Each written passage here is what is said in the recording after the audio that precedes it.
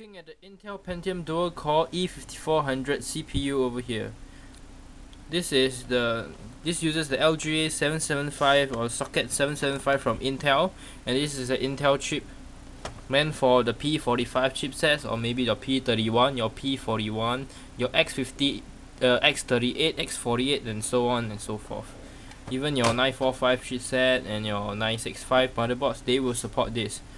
So over here it's a dual core desktop uh, and there's an Intel intelligent power capability.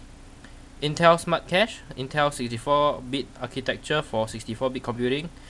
Energy info, uh, efficient computing and LGA 775 and a 3-year limited warranty from Intel. Okay let's unbox this processor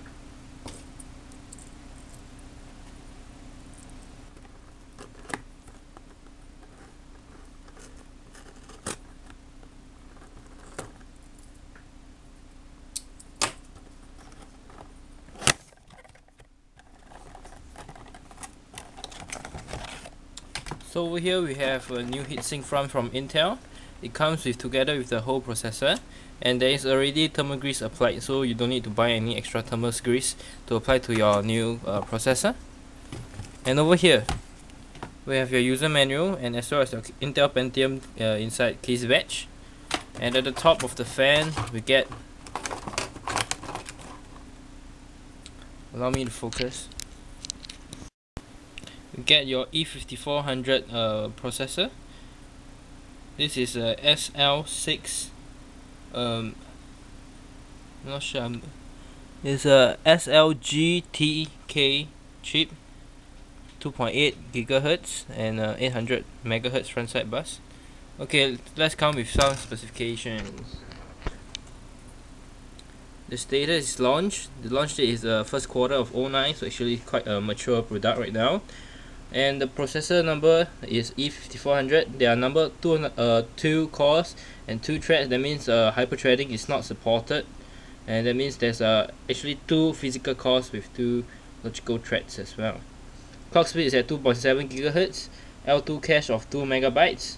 Your bus to core ratio ratio is 13.5 and uh, it supports 64 bit. Let me scroll um, embedding options is not available. Lithography this uses the 45 nanometer um, fabrication process the max TDP is 65 watts so it's a very energy efficient processor. And the VID voltage range is from 0 0.85 volts to 1.3625 volts. Okay other than that there is no integrated graphics on the chip itself unlike the new chips from the i3 and the i5 and that's it. Okay. There's no turbo boost technology. I think turbo boost is only for your core i3 and the core i5 your core i7 and Intel Hyper hyperthreading not enabled. Uh, and there's a Intel 64 yes. That means the it supports 64-bit computing. Enhanced Intel SpeedStep technology which uh, brings down the frequency of your processor to save electricity. And when you uh, are actually doing some uh, uh, memory intensive or uh, processor intensive stuff it will bring your, pro uh, your processor speed back to 2.7 gigahertz. And that's all. Overall I think this is a very good chip from Intel. It because uh it has actually a very good price point. The E5300 and the E5200 is also around the same price but a few dollar difference. So actually can recommend you to go for the E5400 for an extra 0.1 or 0.2 gigahertz of um, increase in the processor speed.